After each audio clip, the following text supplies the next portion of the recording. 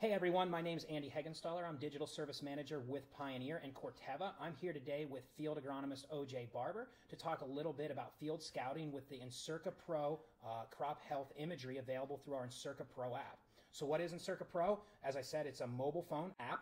Uh, it has four different features with it uh, satellite imagery based field monitoring, uh, nitrogen monitoring for corn, a place to enter and review uh, field planting plans, and a place to view field by field weather in real time. So we've got a lot of awesome stuff in this app. What OJ and I are going to talk about today is really focus in on that satellite imagery because we're entering into that time of the year when there's a lot of opportunity to get insights on what's happening out in the field uh, through satellite imagery. So, what is the satellite imagery? It's as it sounds. We take near daily images um, of almost every field in North America, and growers that are enrolled in this service can look at those fields. We use an algorithm that uses the near infrared light and the green light that's reflected by the canopy, and we have an equation essentially we use that converts that raw imagery into this yellow to green spectrum that's literally telling us how green and healthy is the crop canopy or how brown and unhealthy is it. So it just gives us a really visually intuitive way to look at our crop health. We released this last year, kind of on a trial basis. We got it as a full product offering this year. We've seen some great examples over the last year of opportunities to have a better idea of what's happening out there in the field, catching things that we might not have uh, been able to know about before, and in many cases, being able to make an intervention or a management practice to save crop productivity. So, OJ, why don't you tell us a little bit about what you guys have been seeing out in the Pacific Northwest with the Encirca Pro imagery?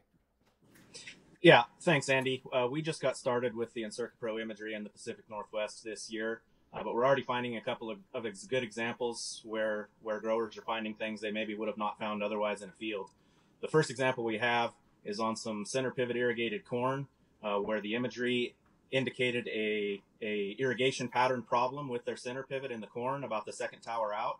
They were able to get that corrected and and potentially save yield there where otherwise they may not may not have found that and, and suffered some yield loss in that ring uh, where where the pivot wasn't irrigating correctly. So that that's one of the examples of a, a, great way we're able to to see these things that we wouldn't otherwise find.